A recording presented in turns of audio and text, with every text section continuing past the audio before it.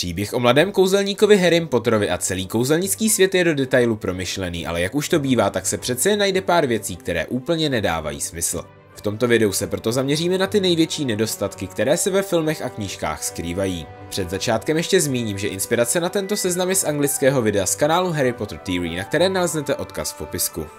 Kouzelnické hůlky po světě využívají kouzelníci svou moc různými způsoby, ale v Evropě nebo Americe ji většinou usměrňují za pomoci hůlek. Tento magický instrument ale vyvolává řadu otázek. Harry například v rodinném sídle Malfoyových použil při svém útěku tři hůlky, se kterými se stal na šedořbeta omračovací kledbu. Účinky jsou pak popisovány jako trojité právě kvůli tomu, že Harry držel v ruce v té době tři hůlky. Proč ale nenapadlo žádného kouzelníka, aby si také opatřil víc hůlek, což by znásobilo nebo alespoň značně zvětšilo jeho moc? Dalším otazníkem je, proč pak vůbec bez větších problémů fungovalo předávání kouzelnických hůlek u Weasleyových, když si právě hůlka vybírá kouzelníka.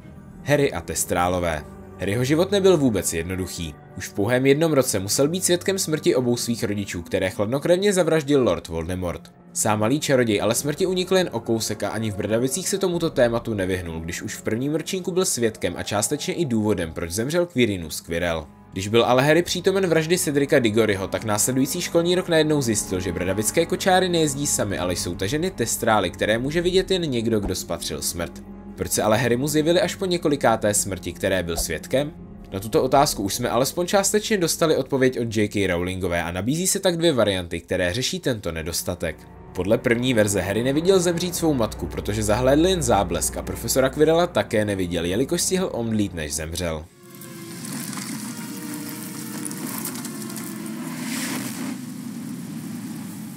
Nejpravděpodobnějším vysvětlením ale podle mě je, že smrt nestačí jen vidět, ale kouzelníky musí i prožít. Harry jako pouhé batole nemohl pochopit, co se oné noci v Godrikově dole stalo a smrt Quirinu se Quirrella ho nezasáhla, protože se ho pokusil zabít.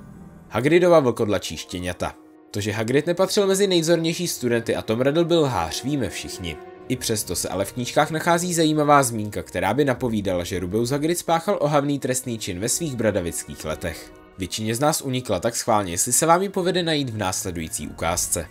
Bylo to tvrzení proti tvrzení Harry. Dokáže si představit, co si o tom musel myslet starý Armando Dippet? Na jedné straně Tom Riddle, chudý, ale geniální, osiřelý, ale statečný, školní prefekt a vzorný student. A na druhé obr a nemotora Hagrid, který ob týden něco vyvedl, třeba když se pokoušel chovat pod postelí vlkodlačí štěňata nebo když se vykradl do zapovězeného lesa, aby zápasil s troly. Připouštím ovšem, že i mě překvapilo, jak mi to všecko vyšlo. Myslel jsem, že alespoň někdo si musí uvědomit, že Hagrid nemůže být z Miozelův dědic. Tyto stvoření jsou blíže vysvětlena až ve třetím dílu a tak není divu, že většině lidí uniklo, že Hagrid měl podle Toma Redla chovat pod postelí vlkodlačí štěňata. Ty jsou však po většinu měsíce lidé a v tomto případě ještě k tomu děti. Zde je možným vysvětlením, že Tom Riddle prostě jen Harrymu v tajemné komnatě lhal, nebo že autorka ještě přesně nevěděla, jaký vlastně budou vlkodlaci. V každém případě ale vydržte až do konce videa, abyste se dozvěděli o té největší chybě, která by mohla pokazit fungování celého kouzelnického světa. Veritaserum. Další nedostatek způsobuje lektvar, který dokáže kouzelníka donutit vyzradit i svá nejniternější tajemství. Proč ho tak ministerstvo nepoužívalo, aby dostalo z obviněných kouzelníků a čarodějek pravdu a vyhnulo se tak dlouhým soudním jednáním? Jestli ještě někdy ukradnete něco z mého vlastnictví, může se stát, že mi ujede ruka nad vaším džusem. A proč tento lektvar nepoužívali častěji i ostatní kouzelníci? Kromě nelegálnosti byla jedním z důvodů i složitá příprava. Ministerstvo ale lektvary podle J.K. Rowlingové používá, ale nejde je považovat za 100% zdroj informací. Kouzelník totiž může porazit účinky tohoto lektvaru jiným lektvarem, kouzly a hlavně nitrobranou, což by nebylo ani možné odhalit. To by pak mohlo povolit uniknout řadě zločinců.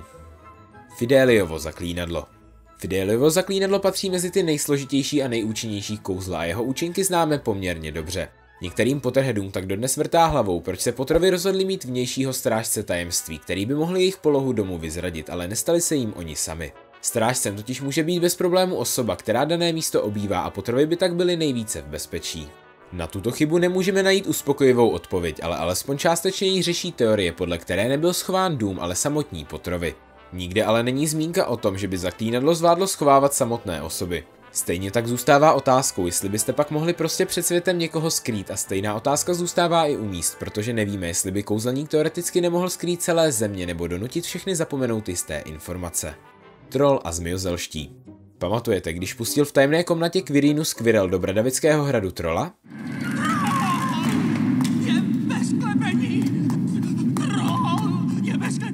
Ještě před svým předstíraným omdlením pak sdělil učitelskému sboru, že troll se nachází ve sklepení. Následoval rozruch, který přerušil až Albus Brumbál. Ten hned přikázal prefektům, aby své studenty odvedli do ložnic. Jak jsme se ale také mohli dočíst, tak zmiozelští měli své ložnice právě ve sklepeních. Snažil se tak Brumbál eliminovat počet studentů v této koleji, nebo se jedná jen o další nedostatek v příběhu? Pobertův plánek. Mapka Bradavic významně posloužila Pobertům, dvojčatům Weasleyovým, ale i Harrymu, který si v ní často četl, až jednou narazil na Petra Pettigrewa. Proč si ho ale nevšimli i Fred a George, kteří bez pochyby nad plánkem strávili desítky hodin a proskoumali každý jeho záhyb? Vždyť s nimi spal v jedné ložnici a není úplně obvyklé, aby mrtvý kouzelník prohlášený za hrdinu spal v posteli se studentem. Mapka také ukazovala mloka z Kamandra, ale toto téma už jsem více rozebíral v samostatném videu. Pobertův plánek a cestování časem. U kouzelného pergamenu ale ještě chvíli zůstaneme. Harry ho musel odevzdat profesoru Lupinovi za nedlouho poté, co na něm zahlédl Petra Pettigrewa. Jak je ale možné, že Remus na plánku nezahlédl Harryho a Hermionu, když cestovali časem? V tomto případě by totiž plánek měl ukazovat dvě verze těchto osob a to by muselo Remusovi, který během dne do plánku koukal, připadat hodně divné, jelikož byl sám jeho autorem. Také jsem si to myslel, dokud si Pettigrua neviděl na plánku. Ten plánek lhal. Ne, nikdy nelžem. Existují ale dvě teorie, které by vysvětlovaly pochybení plánku. První je opravdu jednoduchá a podle ní plánek nedokáže zobrazovat kouzelníky, kteří cestují časem. Je však možné, že toto platí jenom pokud kouzelník neví, že dané osoby časem cestují. Podobně by tomu pak podle druhé teorie mělo být i se zvěromágy, které by měl plánek ukazovat jenom pokud její uživatel ví, že dané zvíře není doopravdy zvířetem. Jak přesně ale Pobertův plánek funguje, zůstává záhadou. Mezinárodní kouzelnické společenství. Dostáváme se k chybám, které odhalují ty největší nedostatky v celém kouzelnickém světě. U této zrovna ve světovém měřítku zůstaneme, protože se budeme bavit o mezinárodním kouzelnickém společenství. Během světové kouzelnické války přiložila ruku k dílu řada kouzelníků a pokusila se porazit Grindelwalda. Vypadá to ale, že nárůst moci Lorda Voldemorta a jeho letitá nadvláda nikoho mimo Velkou Británii ani v nejmenším nezarazila a celý svět tak jen přihlížel tomu, jak tento černokněžník nabírá na moci.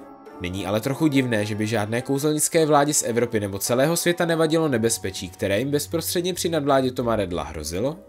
Finanční systém. Dostali jsme se až k té největší chybě, kterou můžeme v příběhu o mladém kouzelníkovi najít. Není překvapením, že se jedná právě o peníze. Ceny jsou v kouzelnickém světě nastaveny tak, že různé předměty stojí kolikrát nelogické částky. Předplatné denního věžce za pouhou jednu korunu za vydání ale ještě není tím největším nedostatkem. Otázkou i zůstává, jak mohli být Weasleyovi tak chudí, pokud měl pan Weasley práci na ministerstvu, která nemohla být tak špatně placená. Otázkou pak i zůstává, kde samotné ministerstvo bralo peníze potřebné pro svou činnost, protože o žádné daní jsme se v knihách nedočetli a Lucius Malfoy by svými občasnými úplatky stěží ufinancoval chod této velké organizace. To nejlepší. Ano, ale musíme. Postřehli jste v příběhu nedostatek, který jsem nezmínil a vadil vám? A co si myslíte o chybách, které jsme dnes probrali? Nezapomeňte se podělit o svůj názor do komentáře a pokud jich bude dost, tak vydám pokračování s dalšími nedostatky. Mezitím můžete dát odběr nebo kliknout na video, které vidíte na obrazovce a dozvědět se víc o Gringotově bance, jejíž fungování je snad ještě víc záhadné než chod ministerstva kouzel za Corneliuse popletala.